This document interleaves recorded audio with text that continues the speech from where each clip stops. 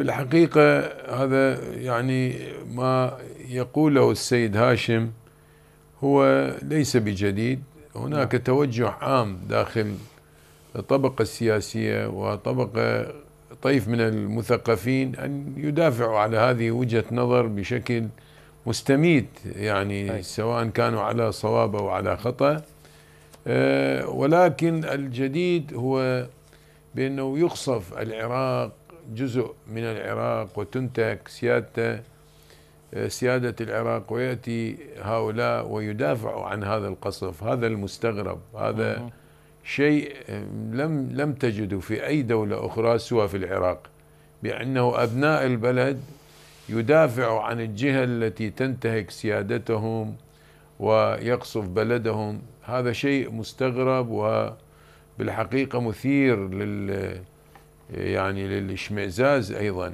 أها. الجميع يعلم بأنه المبررات اللي قدمتها جمهورية إيران الإسلامية هي مبررات هاي اتهامات غير واقعية وغير منطقية. لا خليني أكمل كلامي رجاء خليني أكمل كلامي إحنا بدنا نقول بالتحقق والتحقيق. المبررات التي قدمتها جمهورية إيران الاسلاميه القصف التركي جمهورية ولماذا لم يرفض القصف الإيراني السابق؟ دكتور هاشم خلي السيد علي خلي السيد علي يكمل فكرته ولك حق الرد بعد قليل. راجع لك. تفضل تفضل السيد علي. يعني نعم. يعني المبررات اللي قدمتها جمهورية إيران الإسلامية والمطبلين والمزمرين لها بالحقيقة هي مبررات واهية جدا.